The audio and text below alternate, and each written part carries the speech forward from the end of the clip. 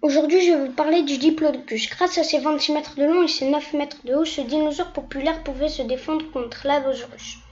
Autrefois, le diplodocus était représenté comme un animal traînant sa queue au sol. Cependant, les paléontologues pensent le contraire, et nous en avons la preuve. Tout le monde sait que les iguanes traînent leur queue, et même si les iguanes existaient et ont disparu, nous le saurons. Pourquoi? Car si on regarderait leurs traces de pas, nous verrions qu'elles comprennent un sillon net et profond entre les postérieurs. Et c'est là que la queue de l'animal passe. Aucune trace de ce type a été retrouvée chez les sauropodes, ce qui signifie qu'ils ne traînaient pas leur queue. Le diplodocus n'est pas si lourd que ce que l'on pense, même s'il faisait 25 tonnes. Nous le savons car ses vertèbres sont légères, même pour un sauropode car les vertèbres des sauropodes sont réputées pour être légères. De plus, sa surface osseuse est très fine et entoure des poches d'air.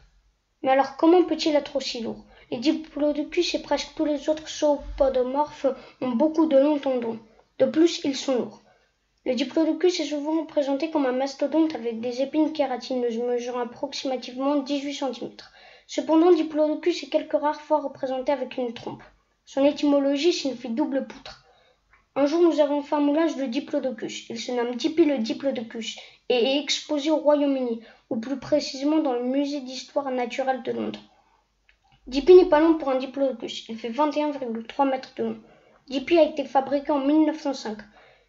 Diplodocus a un crâne similaire à celui de Nigersaurus. On pourrait donc penser qu'ils font partie de la même famille. Mais c'est faux. Diplodocus vivait aux États-Unis pendant le Jurassique supérieur. Et vous, êtes-vous d'accord avec ce que je viens de raconter? N'hésitez pas à donner votre avis.